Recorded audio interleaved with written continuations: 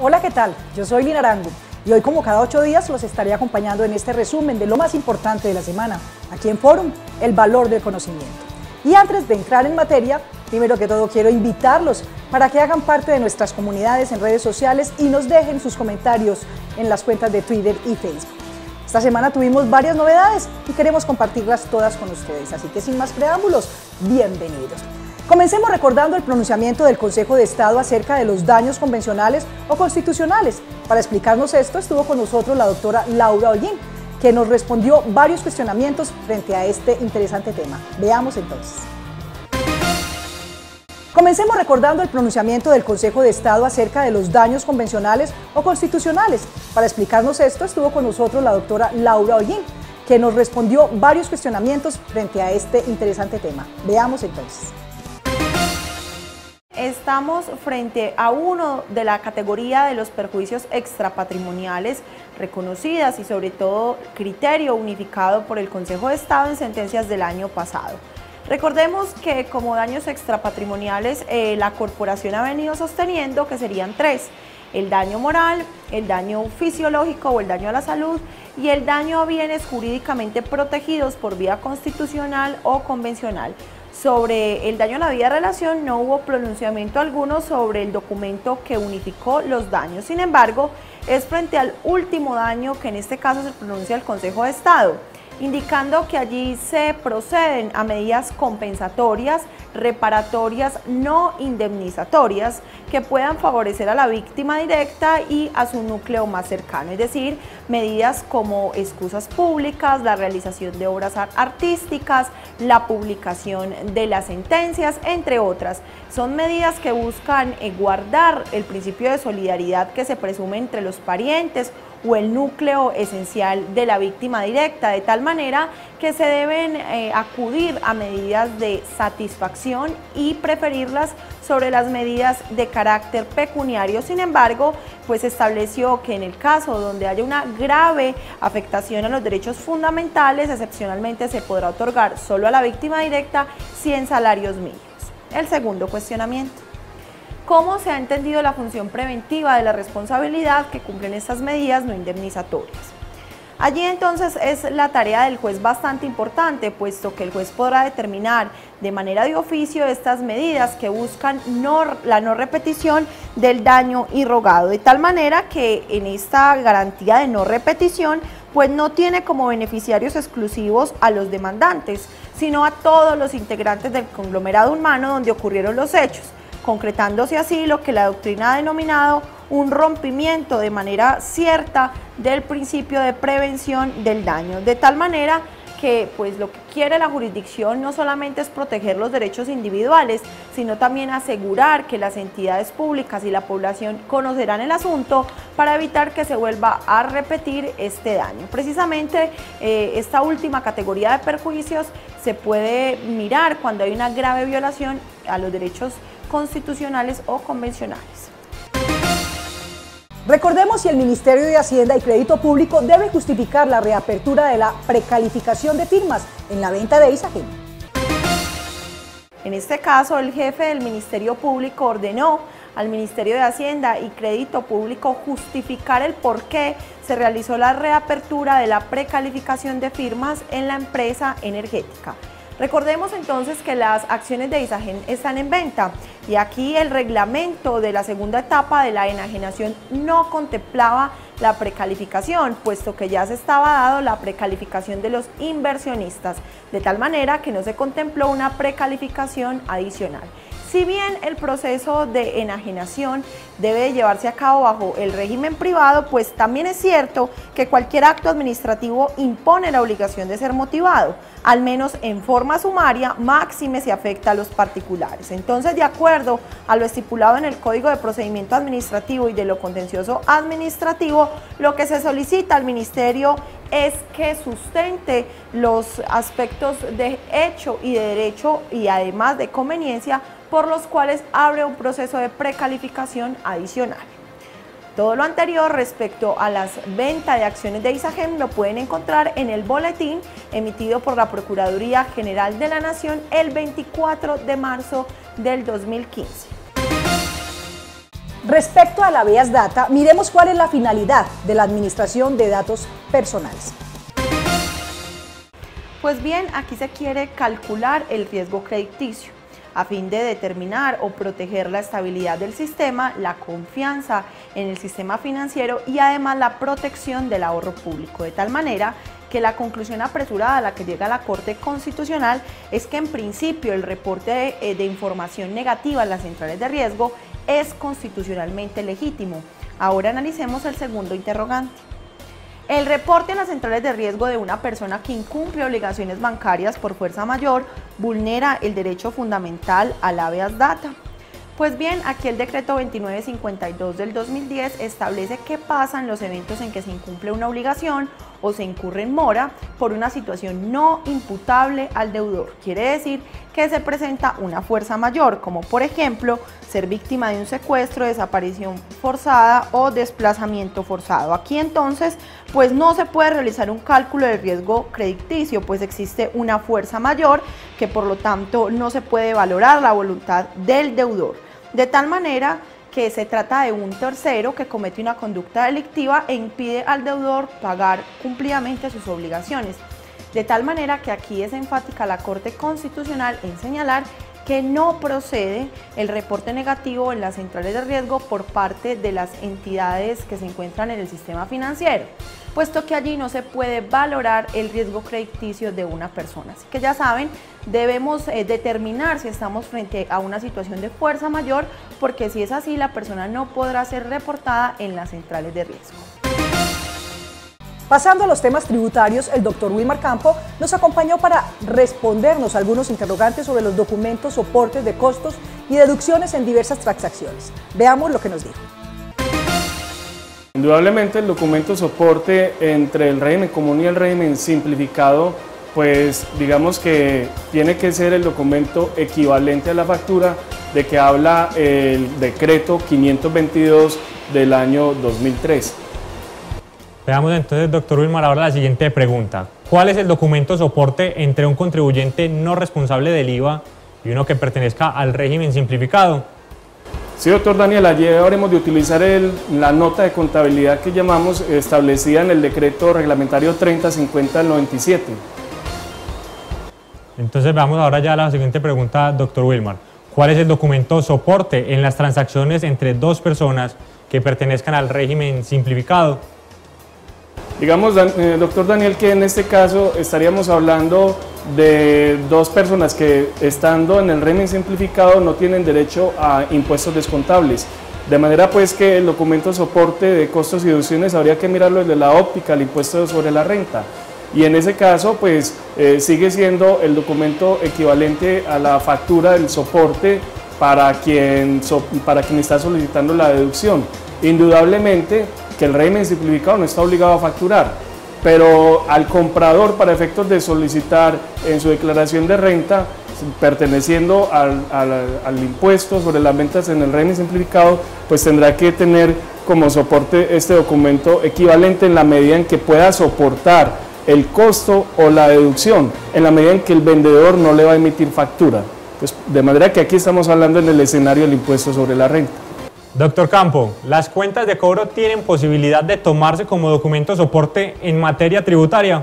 Doctor Daniel, importante pregunta. Eh, de acuerdo con la ley 2150 de 1995 y el artículo 18 de la ley 962 de 2005 se suprime eh, del ordenamiento tributario la posibilidad de cuentas de cobro para efectos de que las entidades públicas pudieran eh, soportar sus operaciones de pago, de compra de bienes y servicios. La, la, doctrina de la Administración Tributaria también ha sido reiterativa en este sentido, de manera pues que las famosas cuentas de cobro que desafortunadamente todavía muchos utilizan y da pena decirlo, pero muchos revisores fiscales y contadores aún hacen uso de ellas, digamos no tienen asidero como valor probatorio en materia tributaria para solicitar costos y deducciones. Doctor Campo, finalmente nos preguntaríamos entonces, ¿un comerciante deberá facturar? Doctor Daniel, un comerciante, lo establece el Código de Comercio, está en la obligación de llevar contabilidad, por un lado. Por otro lado, las normas en materia de IVA reiteran la obligación de facturar para todos aquellos que tienen la condición de comerciantes, salvo excepciones que establezca la misma ley o las normas reglamentarias en materia de facturación, todos eh, los que ejecuten actividades mercantiles están obligados en primera instancia a facturar. Ya habría que revisar en cada caso particular qué documentos podrían ser utilizados como equivalentes, como lo hemos mencionado en este foro en actualidad, o documentos sustitutivos de la factura, pero ya serán normas precisas en materia tributaria que, digamos, delegan la condición de facturar a otras situaciones, como lo menciono, con documentos sustitutivos o equivalentes. Ahora veamos si es causal de inadmisión presentar la solicitud de devolución y o compensación en seccional diferente a la de la declaración. Es que las solicitudes que se presentan de manera respetuosa ante la administración, es la administración la que tiene que decidir quién es el competente así las cosas y se presenta ante una determinada seccional y no es la competente para conocer de la solicitud de devolución o compensación, se debe trasladar al funcionario competente. Esto por los principios en materia de derecho administrativo y así lo establecen las normas nacionales. No podrá inadmitirse simplemente por no presentarse en la seccional que cree o que dice la administración que corresponda. Y recordemos el monto con que se puede generar sanción para el contador revisor fiscal en caso de inexactitud de la información contable que se incluye en las declaraciones tributarias. Sobre este tema se pronunció la Dirección de Impuestos y Aduanas Nacionales. En este caso estamos hablando de un monto de 590 VTs para valores del año 2015 estamos hablando de 16 millones 685 mil pesos. Eh, hace alusión a que cuando se presente inexactitud en la información contable que va a las declaraciones tributarias. Entonces allí a partir de este monto se hace sancionable el contador o revisor fiscal para efectos de su función como certificador de la información a través de su firma contenida en las declaraciones tributarias. Doctor Campo, ¿cuál es la sanción que se impone al contador o revisor fiscal en estos casos? Sí, doctor Daniel. Entonces, lo que establece el artículo 660 es que se le va a negar la posibilidad de que él pueda certificar los estados financieros y las declaraciones tributarias y demás pruebas que vayan camino a la administración tributaria. Entonces, eso puede dar lugar incluso a que esa suspensión se dé en el término del tiempo. Recordemos lo que dice el artículo 660 del Estatuto Tributario cuando en la providencia que agote la vía gubernativa se determine un mayor valor a pagar por impuesto o menor saldo a favor en una cuantía superior a 590 VT, entonces eh, que haya firmado la declaración o certificados o pruebas según el caso para firmar declaraciones tributarias y certificar los estados financieros y demás pruebas con destino a la administración tributaria hasta por un año la primera vez, hasta por dos años la segunda vez y definitivamente en la tercera oportunidad. Doctor Daniel, ¿Esto qué implica? Que el revisor fiscal o el contador debe ser muy juicioso, verificar muy bien qué es lo que está firmando, porque fíjense que la administración tributaria le puede denegar la posibilidad de certificar esta información, incluso ya de por vida, incluso estaríamos hablando que le está limitando su ejercicio profesional, es muy delicada esta sanción y por eso hay que actuar con debida diligencia nosotros cuando actuemos bien como contadores o revisores fiscales. Doctor Campo, ¿en qué etapa del procedimiento administrativo se puede imponer esta sanción? Sí, doctor Daniel, lo dice usted muy bien, el procedimiento administrativo anteriormente decíamos vía gubernativa, digamos que ya cuando se agota el procedimiento administrativo, la anteriormente llamada vía gubernativa, pues la administración tributaria tendrá un término de 10 días para proferir el requerimiento donde le advierte la sanción al contador o revisor fiscal una vez agotado o, mejor dicho, una vez emitido el acto administrativo que agota el procedimiento administrativo. Doctor Campo, ¿qué recursos le asisten al contador o revisor fiscal?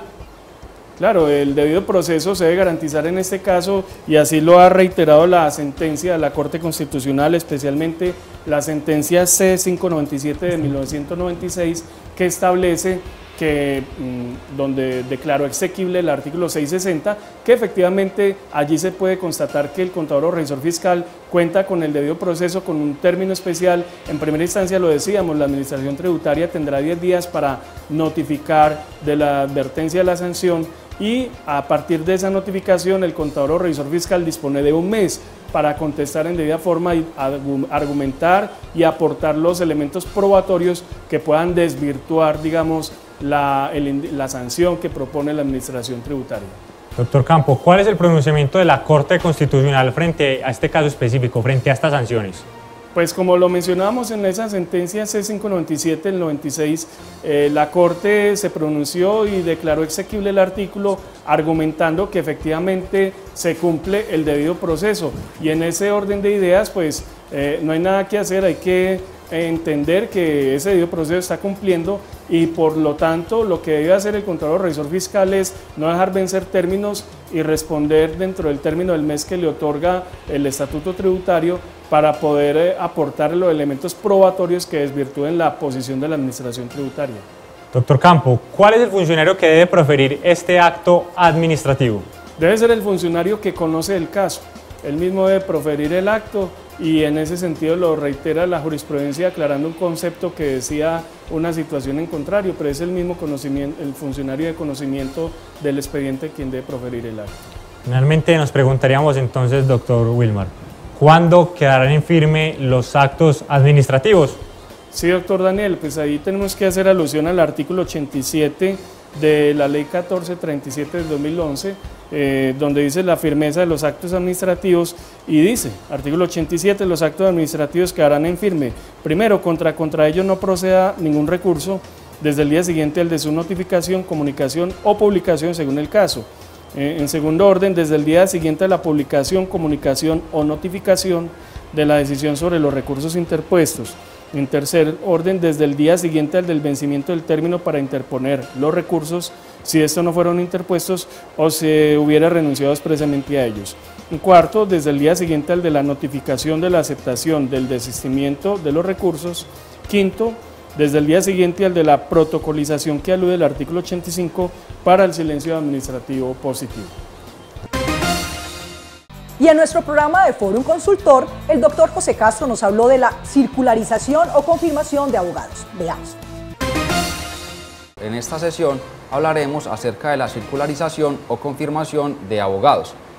Esta la va a permitir al auditor o revisor fiscal obtener de una fuente externa la información necesaria para garantizar la razonabilidad de la cuenta 26 referente a las provisiones y pasivos estimados de litigios o demandas ¿Qué debe contener esta circularización? Es sencillo, debe contener el buro legal o el asesor legal a la cual va dirigida la circularización, debe de incluir el nombre de la firma del revisor fiscal o de los auditores externos, debe incluir además cuál es la compañía auditada o la compañía acerca de la cual estamos requiriendo esta información, debe incluir la fecha de corte de la auditoría, debe contener también una solicitud acerca de los litigios y o demandas que actualmente ese buró o ese asesor legal tiene a cargo de la compañía, incluyendo una probabilidad de pérdida o una estimación de esa pérdida. Esta evaluación debe contestarla el asesor evaluando cada uno de los litigios entre una probabilidad alta, media o baja de que esto pueda afectar los estados financieros. Recuerden que esta información debe incluirse en los estados financieros dentro de la cuenta 26. No olvides visitar nuestra biblioteca de formatos en www.forum.com.co y no olvides además descargar la aplicación para dispositivos móviles. Continuando con el doctor Castro, recordemos que nos dijo acerca de la confirmación de disponibles e inversiones. En esta sesión hemos traído para ustedes la confirmación de disponible e inversiones. ¿Para qué se hace esta? Los revisores fiscales o auditores externos deben obtener de fuentes externas evidencia de auditoría suficiente que les permita formarse una opinión sobre la razonabilidad de los estados financieros. Esta confirmación entonces les va a servir para que entidades financieras externas les confirmen a ustedes como auditores o revisores fiscales la información de los saldos contables, eh, tanto de disponible como de inversiones temporales, en los extractos de ellos que sirven de base para la elaboración de la conciliación bancaria o en algunos casos, si no hay partidas conciliatorias, concuerda con el saldo en libros. Ahora, ¿qué debe contener esta confirmación?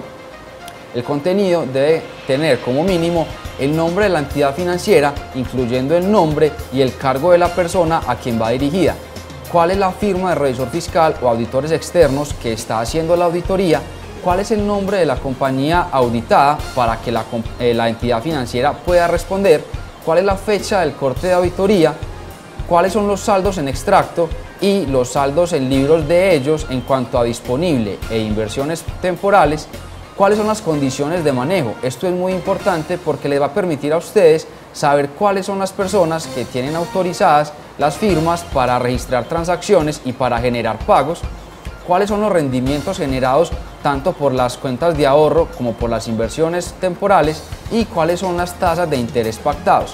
Recuerden que esto es un formato que debe ser adaptado a las necesidades de cada uno. No olvides descargar este formato en la biblioteca de www.forum.com.co y descargar la aplicación para dispositivos móviles. En nuestro espacio de información comercial estuvo acompañándonos el doctor Camilo Franco y nos explicó qué requisitos se deben cumplir para la conservación de los archivos electrónicos y de qué manera pueden los socios llevar los registros de los asociados. Veamos qué dijo la Superintendencia de Sociedades sobre este tema.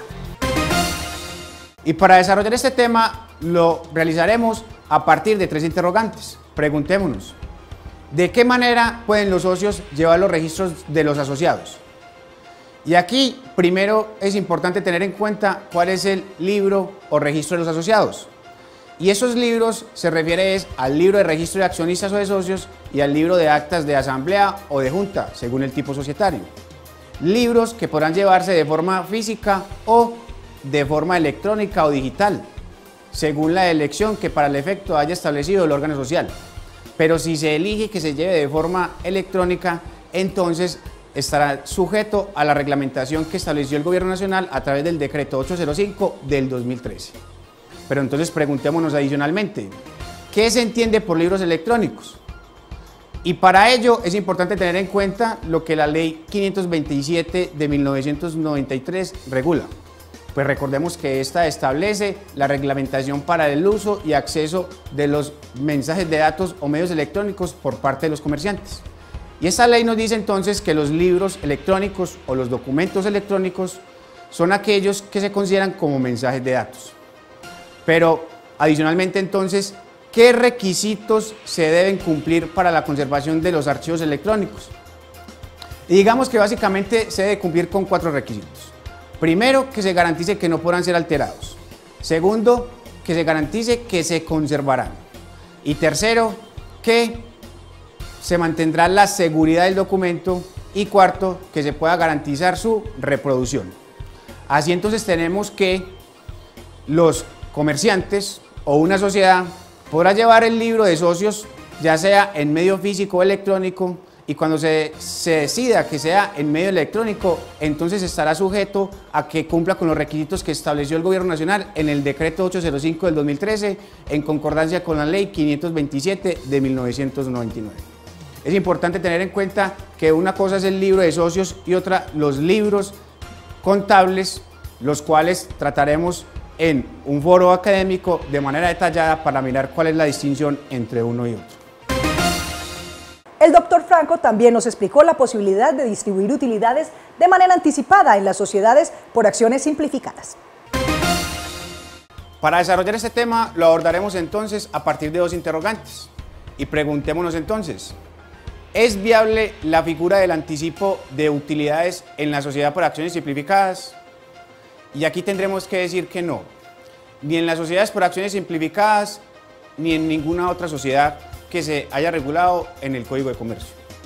Pues para decretar ese anticipo de utilidades, previamente estas se deben de haber considerado en la aprobación de unos balances fidedignos certificados por un contador independiente. Pero entonces preguntémonos adicionalmente, ¿cómo debe distribuirse las utilidades? Y para ello tengamos en cuenta lo que nos indica el artículo 151 del Código de Comercio, el cual nos dice que para el decreto de las utilidades, estas no podrán distribuirse si no están contenidas o no se hayan justificadas en balances reales y fidedignos y las sumas distribuidas en contravención a este artículo no podrán repartirse contra los asociados de buena fe, pero no serán repartibles las utilidades de los ejercicios siguientes mientras no se absorba o repongan lo distribuido en dicha reforma. Es decir, que entonces, para poder repartir anticipadamente unas utilidades, se deben de haber contenido en unos balances que tuvieron que haber sido aprobados por el máximo órgano social y en este caso, digamos que la ley 1258 no contempla esa posibilidad de el decreto anticipado de utilidades, así como tampoco se contempla en el Código de Comercio. Pero como el Código de Comercio establece que cada sociedad al fin de año debe de cerrar sus cuentas, es aquí en donde se tiene la certeza de las utilidades que se deben de repartir y que se deben de pagar.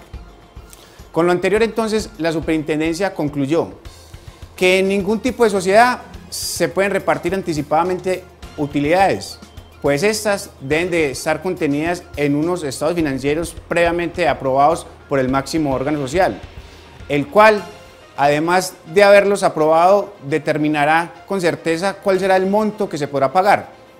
Pero además tampoco se podrán repartir utilidades hasta tanto no se hayan enjugado pérdidas y hasta tanto no se hayan garantizado las reservas que se establezcan en la ley o en los estatutos. Estas son entonces algunas de las consideraciones que se deben de tener en cuenta para el decreto anticipado de las utilidades. Veamos cómo debe realizarse el registro de sustitución de la inversión extranjera.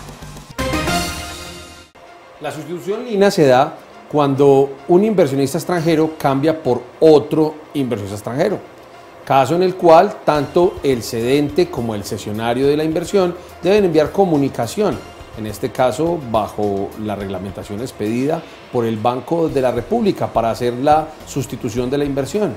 De igual manera sería cuando se cambie la inversión en la sociedad colombiana, si se cambia la inversión de una sociedad hacia otra, también habría entonces sustitución y se debe hacer el cambio para que tengan un recuento claro de cómo se hace el cambio, pues los invitamos a que bajen, eh, en este caso, este oficio que nos indica cómo se hace. Bueno, pero le tengo otra pregunta y es precisamente se trata de qué sucede cuando eh, se trata de una situación por cambio de los titulares o de la inversión extranjera, doctor.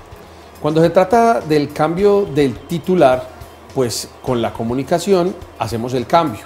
Hay que tener en cuenta que si de alguna manera lo que se hizo fue vender la inversión, pues habrá que presentar la declaración de renta en Colombia por parte de ese titular de la inversión. Si el cambio de esa inversión es por cesión o por fusión, habrá que presentar los documentos respectivos de la excisión o de la fusión para demostrar el cambio del inversionista. Precisamente ahí va. ¿Hay alguna salvedad cuando se trata de una fusión o una excisión?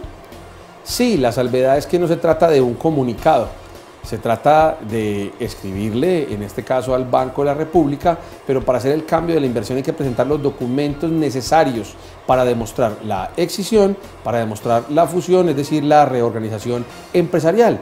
Y con ello se hará el cambio del inversionista. Muy posiblemente incluso para cancelar la inversión anterior y montar una nueva respecto del beneficiario de la excisión o del absorbente en el caso de la fusión.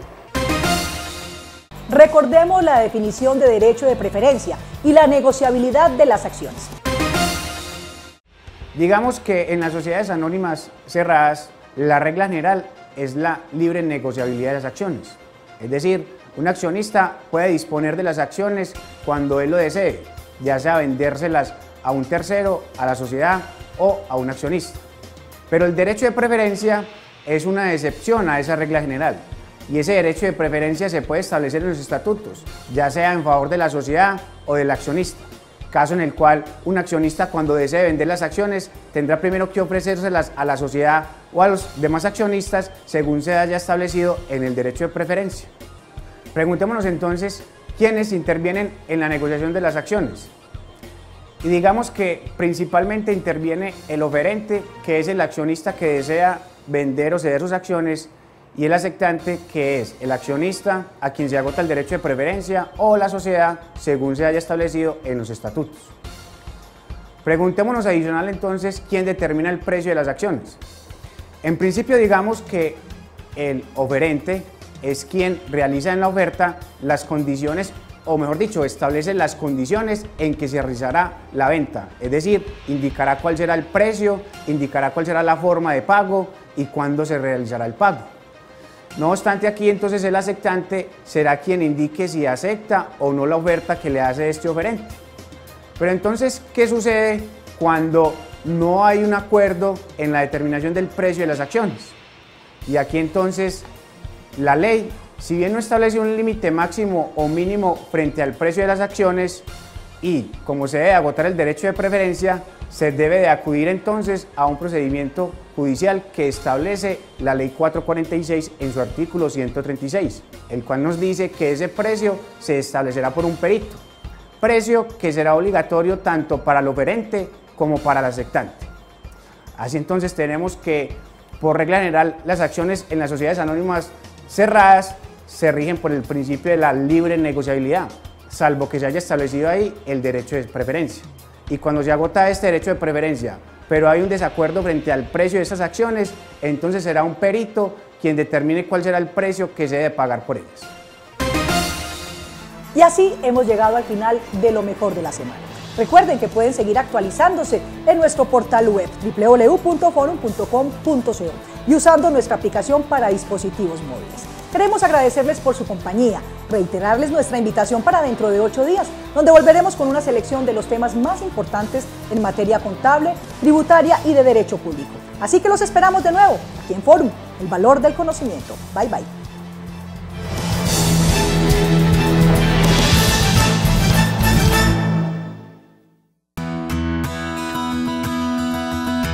Bueno, primitivo. Empieza aprendiendo tu computador e ingresando a tu buscador preferido. Listo, ya me metí a Google. ¿Ahora qué? ¿Te acuerdas de esas normas, oficios, leyes, decretos y artículos que llevas buscando mucho tiempo entre muchos papeles? Claro, no es que así me gasto la mitad del día y nunca encuentro el que estaba buscando. Te vamos a ayudar. Escribe en la barra de búsqueda el número de la norma, ley, decreto, oficio o artículo o el tema que estás buscando, seguido de la palabra forum. Forum primitivo, no forbum. Forum. Y así de fácil encuentro todo y listo para descargar. Sí, primitivo. Solo a un clic encuentras todo lo que necesitas cuando lo necesitas con Forum.